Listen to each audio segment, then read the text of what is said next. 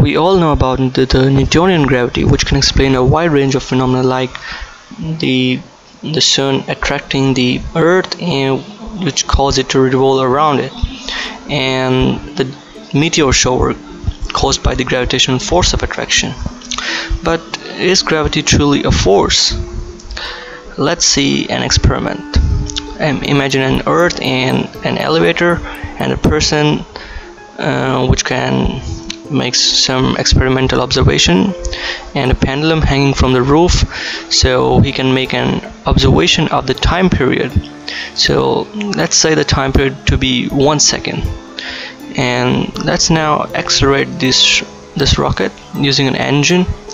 So because the pendulum is still oscillating the time period will still be one second so the two situations are equivalent. Being in a gravitational field and in uniformly accelerated frame is equivalent. So let's now turn off the engine and the person starts to float.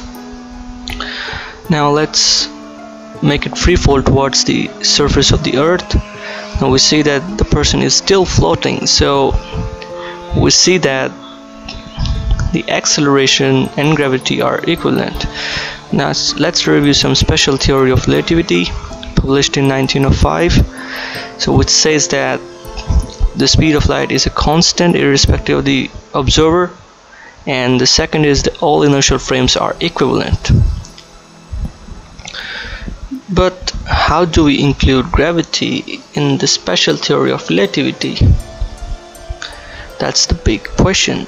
We know that for a small region of space-time the free fall frames are inertial so special relativity could work in that region of space-time.